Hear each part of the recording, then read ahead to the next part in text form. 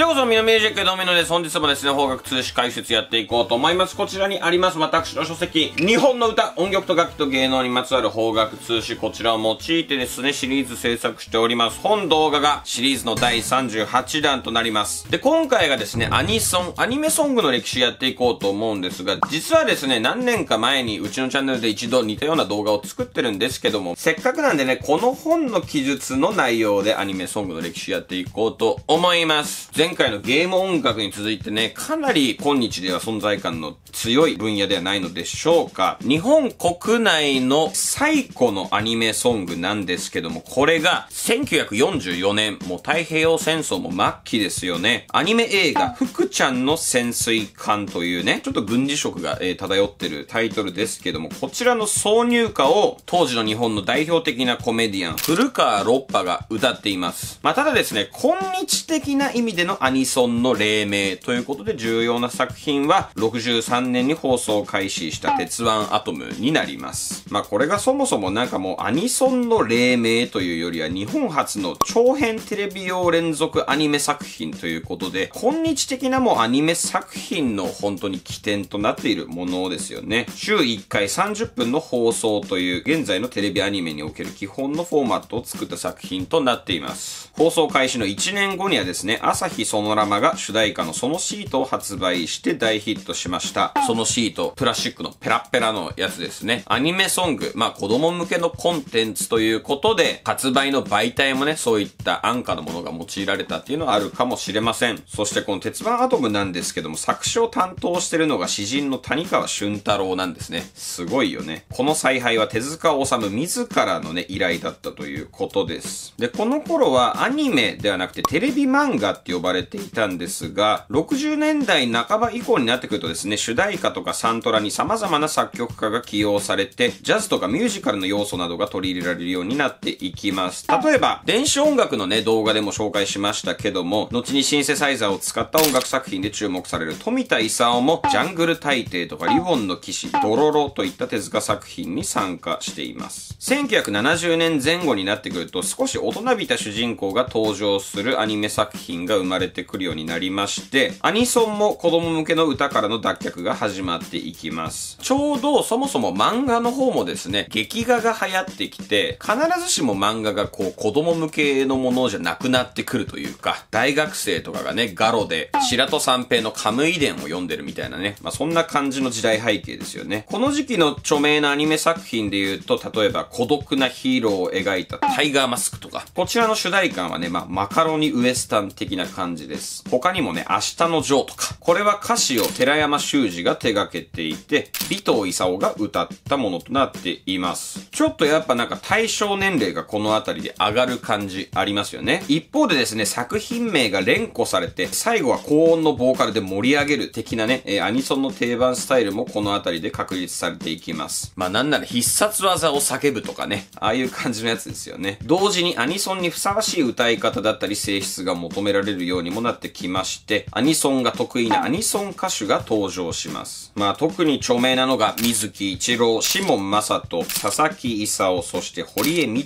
子などですね。74年には作品面だけではなく、アニソンも突出した人気を誇ることになる2作品が登場します。その一つがアルプスの少女ハイジですね。これね、今日も非常に知名度が高い作品ですけども、制作陣には高畑勲とか宮崎駿も参加していました。そして主題歌教えての制作にあたってはですね、冒頭の印象的なアルペンホルンとヨーデルの録音のために、スイスで行われたと。すごいですよね。そして、ハイティーン層のアニメファンを開拓した宇宙戦艦ヤマト。まあ、これは重要作品ですよね。60年代がアトムだとしたら70年代がヤマトで80年代がガンダムで90年代がエヴァでみたいな。なんかそんな感じにね、ざっくりアニメの歴史を説明することも多いと思うんですけども、ヤマトです。主題歌宇宙戦艦ヤマトではマーチを用いたムードのある曲想で宇宙のロマンを描きます。やっぱりこの宇宙戦艦ヤマトのね、盛り上がりは相当なものがあったみたいでして、特に劇場版宇宙戦艦ヤマトの公開で大ブームが到来、テレビ漫画に変わって、このあたりのタイミングでアニメという呼び名が定着していきます。アニメというね、用語はもうなんなら海外でも通用するものになりましたもんね。他にもね、ルパン三世も大体この時期なんですね。第1シリリーズは低調だったんですけども、77年開始の第2シリーズからはジャズピアニストの大野裕二が音楽を担当して、インストのオープニングテーマは大ヒットしました。ルパン三世のサントラとかって結構なんか和物レアグルーブみたいなね、演奏がたくさん入ってて、実は結構かっこいいんですよね。他にも、劇場版銀河鉄道39の主題歌はロックバンドの五大悟が手掛けまして、アニソンの枠組みを大きく広げていきます。80年代に入るとさらに様々なジャンルの作曲家がアニソンの作り手として参入していきます。まあ、アニソンと歌謡曲の垣根がだんだんこう低くなっていく時代ですよね。その象徴として挙げられるのが83年のキャッツアイです。これの主題歌をアンリが歌ったのですが、チャートの1位を獲得しました。一方で、アンリはアニソンの主題歌なんて歌いたくなかったみたいなんですよ。だからちょっとなんかこう、今とさ、状況が違うというか、今日だったら、アーティストからするとアニメのタイアップもらえるなんて激アツじゃないですか。すごいたくさんの人に知ってもらえる素晴らしい機会だっていうことで、歓迎する場合が多いと思うんですけども、このあたりはやっぱりちょっとなんかアニメが軟派なもの、まあ子供向けのね、ものとされていた時代だったので、杏里にもね、反発があったみたいですね。は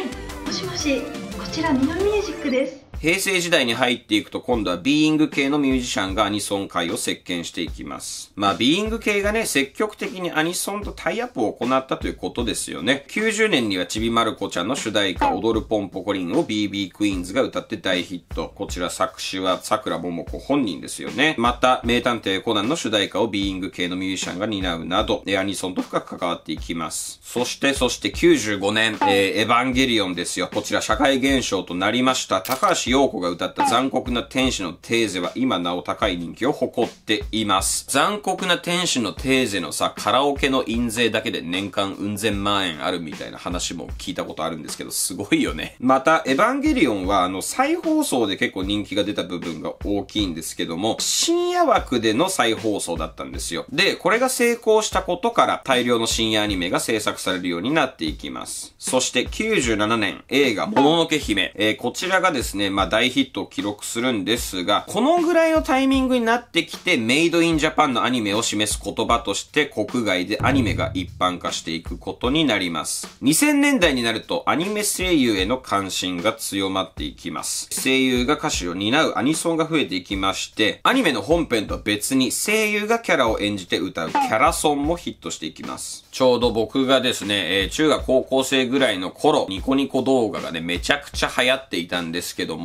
当時特に京アニ制作のアニメが違法アップロードされていて、それがすっごい流行っていたんですね。まあ、ややグレーな話ではあるんですけども、みんな見てたんですよ。なんか当たり前に春日とかラキスタとか、熱心なアニメファンじゃなくても結構見てるみたいな時期がね、あったんですが、まあその頃やっぱキャラソンすごい人気でしたよね。春日とかラキスタとかのね、それぞれのキャラクターの、まあ楽曲とかね、僕も当時すごいね、身近にあって聴いていたのを覚えています。以降ですね、アニソンを主体としたライブイベントも開催されるようになってきまして、音楽活動にも力を入れる声優が出てきます。まあその筆頭と言えるのが水木奈々ですよね。2009年には声優出身のミュージシャンとして初めて NHK の紅白歌合戦にも出場しました。現在、アニソンは邦楽との垣根はほぼ取り払われてですね、曲調も様々でアニソンとちょっと一言でくくるのはね、難しいジャンルとなりました。70年代的なね、必殺技技を最後に叫ぶとか連呼するみたいな曲が、まあ、なくなってきたという感じでしょうか。ただ、えー、ヒット曲のチャートにアニソンが入ることも珍しくなくなってきました。日本初のポップカルチャーとしてアニメが広く親しまれていく中で、国外では主題歌への関心も高まっています。というかなんか最近だと邦楽が国外に出ていく一つの手段としてアニソンはもう欠かせませんよね。誰々のこの楽曲が海外でバズってるらしいみたいなね、ニュース。よく紐解いてみると、その背後にはアニメがあるっていうケース非常に多いと思います。アニソンが獲得したこの立ち位置は邦楽の未来を考えていく上でも注目に値するだろうと思いますね。